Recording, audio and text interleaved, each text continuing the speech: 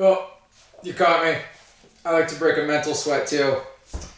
So uh, today, I, I want to share with you a little tip that was huge, huge, huge for me when I started transitioning more from one-on-one clients to groups, small and large groups. And it's this really cool idea of coaching and cueing that I got from some of my really good friends at TRX who are amazing Group X instructors with tons of background and very, very talented. And it's this idea of triple threat cueing.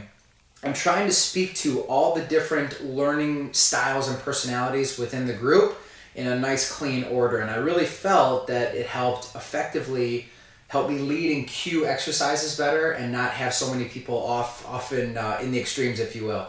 I know we've all kind of run into that situation where you feel like you're giving good cues and certain people just aren't getting it and you're feeling like they're not paying attention, but that's not always the case. So so this idea of triple threat cueing is first, we're to focus on auditory. Um, some people take in information best by hearing it.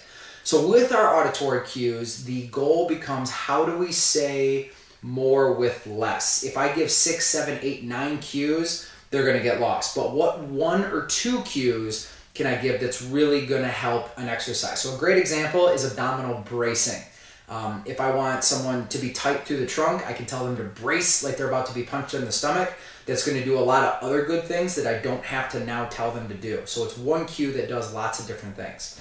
So first is auditory cue, but cue impactfully. How do you say more with less? Second is visual. So after you've given the auditory cue, you want to give a good visual demonstration. Some people learn much better by seeing than by hearing. So they need to see you do it and they need you to see you do it well.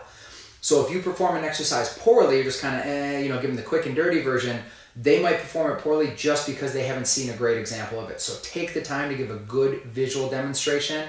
And if maybe it's an exercise you're not super confident on, that's okay. Make sure that you explain that you're not, own that weakness, and then tell them what would make it look better and, and try and show that maybe with a modification or some assistance.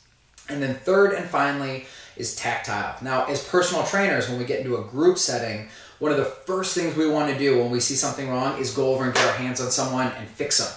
And, and that can be very powerful. There's a lot of great stuff with tactile cueing. However, if you have a group of 15 people, you can't tactile cue everybody. So start with the auditory that's going to cover a lot of people. Then go into visual, that's going to cover. And if you have stragglers, if you have people that still haven't got it, they need to feel it. They need a good tactile cue. So then you're going to go over and maybe tap on the stomach to get that bracing or pull the shoulders down and back for good posture, whatever it is. Um, you know, I, and I know lots of different organizations talk about different ways to do tactile cueing and make sure it's in a comfortable environment. You know the person because you can cross lines. I totally agree with that. If it's someone you don't think is going to take well to being touched, then don't touch them. On the same token, if you go up to someone and say, Sally, can I touch you? I think that's even creepier than just kind of like putting your hand gently on their shoulder. So you, you got to be the judge of that and, and decide what it's going to be best. Um, I, I read that one time in a book. So enjoy uh, enjoy those tips. I hope they work well for you.